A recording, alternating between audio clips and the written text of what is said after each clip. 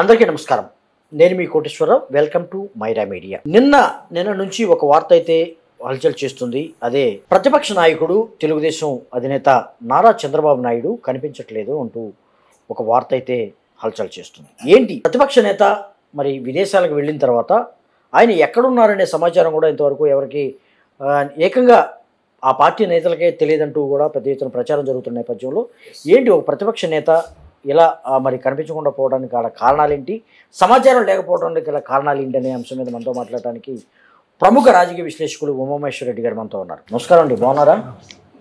ఏంటి సార్ అసలు ఇది ఒక ప్రతిపక్ష నేత ఒక పార్టీ అధినేత Nara Chandrababu Naidu forty years industry కనిపించకుండా పోయారు అని కూడా వార్త వస్తుంది. వాస్తవంగా చంద్రబాబు నాయుడు ఎలక్షన్ అయిపోయినప్పటి నుంచి ఇప్పటి వరకు మీడియాకు వచ్చింది లేదు. ఒకటి పిలువ పిలువని పేరెంట్ అని కానీ మోడీ ప్రమాణ స్వీకారానికి అది నామినేషన్ కార్యక్రమానికి వెళ్ళారు. కాశీ. వాళ్ళ ఊరు పిలవల. వీళ్ళ లోపలికి కూడా రానిలా. ఇంకా అప్పటి నుంచి చంద్రబాబు నాయుడు ఆడ ఉండేది అనేది ఎవ్వరికి అందుబడ్డట్లా నాకు తెలిసి ఓడిపోతున్నాననే భాగంలో ఏమన్నా భారీ కుట్రకి ఏమన్నా స్కెచ్ చేస్తున్నాడేమో అన్నట్టు అనిపిస్తుంది ఒకటి. నీకు అన్ని కేసుల్లో నీకు ఇంకొక ఒకటి ఫైబర్ నెట్ కేసులో విచారణ జరుగుతుంది బెయిల్ రాలేదు ఏమే స్టే ఇచ్చారు. అలాంటిది మీరు చెప్ప పెట్టకుండా ఎవరు కనపడకుండా విదేశాలకు పోవాల్సిన అవసరం ఏముంది? కోర్టు అనుమతి కోర్టుకు చెప్పి కదా పోవాలి. అదే ప్ర జగన్మోహన్ రెడ్డి గారు అఫీషియల్గా కోర్టు అనుమతి తీసుకొని పోతే ఆయన విదేశాలకు పాడిపోయాడు ఇంకా రాడు. ఆర్థిక నేలు గారు పోయినారని మీ ఇష్టం వచ్చిన పిచ్చి రాతలు పిచ్చి కూతలు కూస్తారు. అదే ప్రతిపక్ష నేత కూడా నీ మీద కేసులు ఉన్నప్పుడు నువ్వు కోర్టు అనుమతి తీసుకొని అన్ని సక్రమంగా వెళ్ళాలి. అయినా అయినా కూడా ప్రతిపక్ష అంత అంత జాగ్రత్త పడి అంత లోపల ఎవరికి కనపడకుండా పోవాల్సిన అవసరం ఏముంది? వీళ్ళ అబ్బాయి వన్ వీక్ ముందు విన్నాడు చెప్ప పెట్టుకుని వెళ్ళిపోయినాడు. ఈయన ఇప్పుడు నిన్న నిన్న నుంచి అసలు ప్రెస్ ప్రెస్ ముందుకు రాలేదు. దట్టు అంత లోపలగా అంత కనిపించ లో ప్రొఫైల్గా అంత ఇంతగా వ్యవహరించాల్సిన అవసరం ఏముంది? కానీ ఉమామహేశ్వర జగన్మోహన్ రెడ్డి గారు- అనే మనిషి. రోజు ఈ ట్వంటీ ఫోర్ బై సెవెన్ ప్రజల ముందు ఉంటేనే మీరు అన్ని వేస్తారు అన్ని నిందలేసి అన్ని ఇది చేశారు ఉమ్, మీరు మీరు చేస్తేనేమో అది మంచిదే. నువ్వు ఎలక్షన్ అయిన తర్వాత ఒక ప్రెస్ మీట్ ఎందుకు పెట్టలా? ఎందుకు ప్రజలకు మాట్లాడాలా? ఈ గొడవల మీద ఎందుకు స్పందించాలా. ఎందుకు నువ్వు అంత తెలియకుండా వెళ్ళిపోవాల్సిన నువ్వు కామ్ గోయింగ్ వెళ్ళాల్సిన అవసరం ఏముంది? ఏం కుట్ర చేస్తున్నావు? నువ్వు అప్పుడు అమెరికాకి వెళ్ళాల్సిన అవసరం ఏముంది. మొదటిగా మొదటిగా వచ్చిన ఇచ్చిన సమాచారం ప్రకారం చంద్రబాబు నాయుడు అమెరికా వెళ్తున్నారు. అమెరికా వెళ్తాం కూడా ఇదేదో ఎంటర్టైన్మెంట్ టూర్ కాదు మామూలుగా వైద్య పరీక్షలు. ఆయన ఆరోగ్యానికి సంబంధించినటువంటి టెస్టులు చేయించుకోవడానికి వెళ్తున్నారని కూడా చేశారు. అయితే ఆ తర్వాత ఏదైతే కాంపిటేటివ్ జయరామ్ ఉన్నాడో ఐటీడీపీకి సంబంధించినటువంటి ఈయన కూడా ఒకటి చెప్పాడు. లేదు లేదు నారా చంద్రబాబు నాయుడు అమెరికా రావట్లేదు అన్నాడు. ఇక్కడ చాలా గందరగోళంగా ఉంది. అంటే ఆయన వస్తున్నాడంటే ఇతను రా రావట్లేదండి. ఎక్కడికి వెళ్ళారు? ఇప్పుడు నీకు బాగాలేకపోతే ఎవరు చూపించుకోవద్దని చెప్పరు. ఎవరు వెళ్ళొద్దని చెప్పరు. ఒక మాట మీరు అఫీషియల్గా చెప్పి వెళ్ళొచ్చు కదా. అవును. ఇప్పుడు ప్రజలకు మీరు జవాబుదారి ఉండాలి కదా. మీరు ప్రతిపక్ష నేత కదా. మరి మళ్ళీ నీకు అదిగాక నీకు స్కిల్ డెవలప్మెంట్లో ఫైబర్ నెట్ కేసులో రెండిట్లో ముద్దాయిగా ఉన్నారు. కోర్టు అనుమతి ఇంకా నీకు బెయిల్ మీద ఉన్నారు బెయిల్ మీద ఉన్నారు. ఫైబర్ నెట్ దాంట్లో ఇంకా రాలా బెయిలే రాలా. ఏమే. ఆ స్టే ఇచ్చారంటే అది జరుగుతుంది. మీరు ఇంతగా ఇంత మీరు ఒక బాధ్యత గల ప్రతిపక్ష నేతగా ఉండి మీరు చెప్పా పెట్టకుండా లో- లోపల పోవాల్సిన అవసరం ఏముంది. నేను ఇమ్మిగ్రేషన్ అధికారులు కూడా అడ్డుకొని దాదాపు one hour two hours wait చేసిన తర్వాత మళ్ళీ ఏమో అనుమతించినట్టున్నారు ఎక్కడది శంషాబాద్లో శంషాబాద్ ఫస్ట్లోనే మీరు ప్రెస్ మీట్ అనౌన్స్ చేసి ఇదో నాకు ఇట్లా హెల్త్ బాగాలేదు నేను వెళ్తున్నాను పలానా రోజు ఇప్పుడు జగన్మోహన్ రెడ్డి ఉన్నారు. విదేశాలకు పలానా రోజు పలానా తేదీ ఒకటో తేదీ వస్తాను అంటున్నాడు. అట్లా మీరు కూడా చెప్పిపోవచ్చు కదా మీ అబ్బాయి చెప్ప పెట్టుకుని వెళ్ళిపోయాడు మీరు చెప్ప పెట్టుకుని వెళ్ళిపోయారంటే. ఇక్కడ ఏందో లో లోపల కుట్ర జరుగుతుంది ఎటువంటి కుట్ర ఆ? కుట్రలో ఆ కుట్రలో భాగంగా జరిగిన గొడవలే ఇవి. మీరు ఆరోపిస్తున్నారు కుట్ర చంద్రబాబు? నైజం నైజం అదే.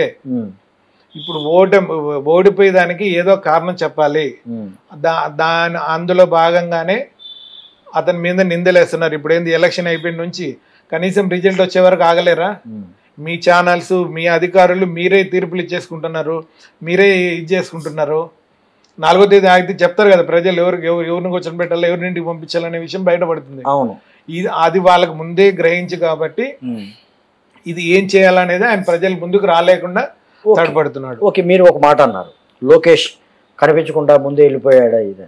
అవును. కానీ లోకేష్ లోకేష్ ఇప్పుడు కనిపించకుండా పోవటమే కాదు వాళ్ళ ఫాదర్ జైల్లో ఉన్నప్పుడు కూడా కొన్ని రోజులు దాదాపు ఇరవై రోజులు ఇరవై ఒక రోజులు. ఇరవై రోజులు ఢిల్లీకి పోయినాడు. అప్పుడేంది కనిపించకుండా పోయాడని అప్పుడు కూడా వచ్చినాయి. కనిపించకుండా పోలే అప్పుడు తరచుగా ఎందుకు లోకేష్ కనిపించకుండా పోతున్నాడు? పైరవీలు చేయ అప్పుడు వాళ్ళ నాన్న బెయిల్ కోసం పైరవీలు చేయడానికి వెళ్ళాడు. అప్పుడు అనుకోవచ్చు. అది ఒకటి. ఇప్పుడేముంది? అదే చెప్తున్నా ఎలక్షన్ ఎలక్షన్ అప్పుడు క్యాంపెయిన్కి రాలా. మంగళగిరికే ఇది పరిమితం అయిపోయాడు. అతను వస్తే పవన్ కళ్యాణ్కి ఇది కాదు. పవన్ కళ్యాణ్ ఉంటే అది ఇది కాదు. ఇద్దరు ఒకసారి కూర్చొని చేయలేరు. కానీ ఒక ఆరోపణ అయితే ఉంది. ఎన్నికల ప్రచారంలో ఖచ్చితంగా లోకేష్ని ప్రచారానికి పంపించొద్దు అని ప్రశాంత్ కిషోర్ చెప్పాడంట చంద్రబాబు నాయుడుకి. అదొక అదొకటిను పవన్ కళ్యాణ్కి అతనికి ఏదో ఇద్దరు ఒక స్టేజ్ పంచుకుంటానని కూడా వాళ్ళు ఏదో ఉంది. ఇష్టపడలేదా? ఇష్టపడట్లేదు. అంటే అప్పుడే అంటే అయిపోయినాయి ఎలక్షన్స్ అయిపోయినాయి అన్ని ఓకే. ఇప్పుడు మీరు రిజల్ట్ వచ్చేవారి లోప ఏం చేయాలనుకుంటున్నారు? కుట్రలు ఏమేం కుట్రలు ఏ దేనికి చేస్తున్నారు? ఒకటి. రెండోది ఏంది ఖచ్చితంగా ఒక ఎమ్మెల్యే స్థాయి వ్యక్తి విదేశాలకు పోతుంటే ఖచ్చితంగా కనీసం వాళ్ళ కాన్స్టిట్యున్సీలో ప్రజలకన్నా తెలుస్తుంది. అవును. మా ఎమ్మెల్యే పలానా చోటుకు పోతున్నాడు పలానా పలానప్పుడు వస్తాడు పలాని అని. అలాంటిది ఒక ప్రతిపక్ష నాయకుడు నువ్వు అంత దాంకోని మరీ చెప్పకుండా తెలియకుండా అంత సైలెంట్గా చేసే పని. ఏం అవసరం ఏంటి? అని పనులు ఏమున్నాయి? హెల్త్ బాగాలేకపోతే హెల్త్ బిడ్డ నువ్వు ఓపెన్గా చెప్పేయచ్చు. అవును. అప్పుడు అసలు ఇంత డిస్కషన్ ఉండేది కాదు. మ్, మీద ఇన్ని అనుమానాలు ఉండేవి కావు. ఎందుకంటే మనం కుట్రల కుర్తం తలకు పెట్టింది పేరు కాబట్టి నువ్వు సైలెంట్గా ఉన్నా కూడా భయమే. అవును.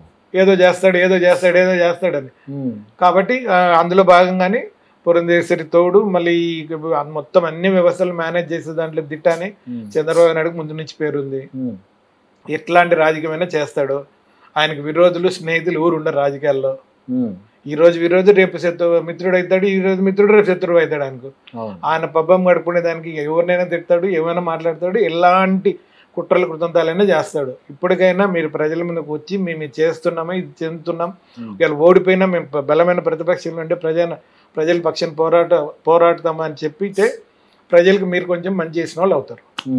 అంటే ఎట్లా ఇప్పుడు మామూలుగా కొంతమంది జన సైనికులు కానీ జన సేన నాయకులు కానీ చెప్తూ ఉన్నారు. ఏకంగా అంటే ఆయన విదేశాలకు వెళ్ళిన తర్వాత వచ్చిన మాట ఇది. పవన్ కళ్యాణ్ని ముఖ్యమంత్రి చేయబోతున్నారు ముఖ్యమంత్రిగా చేయబోతున్నారు. చంద్రబాబు నాయుడు ఇప్పటికే గ్రీన్ సిగ్నల్ ఇచ్చారంటారేంటి ఇదే నిజమేనా? ఇప్పుడు గె- గెలవలేని వాటికి ఎన్నైనా చెప్పుకోవచ్చు. అసలు మీకు ఆడ పదవి పట్టుమని యాభై సీట్లు రావంటే పవన్ కళ్యాణ్ ఎట్లయితాడు ఈయనట్లయితాడు ఒకటి. అది కళలో కూడా ఊహించిన మాట. పాపం జన సైనికులు పాపం వాళ్ళ అమాయకులు ఏది చెప్తే అది నమ్ముతుంటారు తప్ప ఈ టీడీపీ వాళ్ళకు ఉన్నంత ఇది వాళ్ళకు ఉండదు. ఏదో పవన్ కళ్యాణ్ మీద అభిమానంతో వాళ్ళు ఏది ఏది చెప్తే అది నమ్ముతుంటారు. అంతే తప్ప చంద్రబాబు నాయుడు నీకు కనీసం యాభై సీట్లు ఇలా మీకు సీఎం పదవి ఎట్లా ఎట్లా అనుకుంటారు? ట్రో- ట్రోల్ అయితే జరుగుతుంది. అన్ని జరగని పనులు చంద్రబాబు నా కళ్ళలో కూడా అది ఊహించిన మాట అది. మీరు కుట్ర ఎటువంటి కుట్రలకు పాల్పడుతున్నారని మీరు భావిస్తున్నారు? అది ఇప్పుడు ఇప్పుడు అదే చెప్తున్నా. ఎటువంటి కుట్రలైనా చేయగలుగుతాడు ఆయన. అంటే గెలిచేందుకు కుట్రలను చేస్తున్నట్ట? అది గెలిచేదానికి చేస్తున్నాడా లేకపోతే ఓడిపోతున్నామని చెప్పి దా ఆ ఓటమి నుంచి బయటపడేదానికి నెపంతో చేస్తున్నాడా అనేది సంథింగ్ అయితే ఆయన మీడియా ముందుకు రాకపోవడం వల్ల చాలా మందికి ఇలాంటి అనుమానాలే కలుగుతున్నాయి. ఓకే. ఇది ఉమామహేశ్వర రెడ్డి గారు చెప్తున్నారు. ఏదైతే ప్రతిపక్ష నేత మరి ఒక పార్టీకి అధినేత నారా చంద్రబాబు నాయుడు కనిపించకుండా పోవడం చాలా దురదృష్టకరం. అంతేకాకుండా ఫెయిర్ రాజకీయాలు. రాజకీయాల్లో చాలా ఫెయిర్గా ఉండాలి. అంతేకాకుండా ప్రజలకు మరి జవాబుదారీగా ఉండాల్సిన నేత ఇటువంటి కనిపించకుండా పోయి ఎక్కడ తిరుగుతున్నాడో తెలియకుండా ఇటువంటి కుట్రలకు పాల్పడుతున్నారని కూడా కొంతమంది అనుమానించే పరిస్థితి ఉంది కాబట్టి ఖచ్చితంగా ఈ అనుమానాలు తీర్చేందుకు ఖచ్చితంగా మరి చంద్రబాబు నాయుడు అన్న వ్యక్తి బయటకు వచ్చి తాను వ్యవహరిస్తున్నటువంటి తీరును ఖచ్చితంగా చెప్పవలసిన అవసరం ఉందని కూడా చెప్తూ ఉన్న పరిస్థితి. నమస్కారం అండి.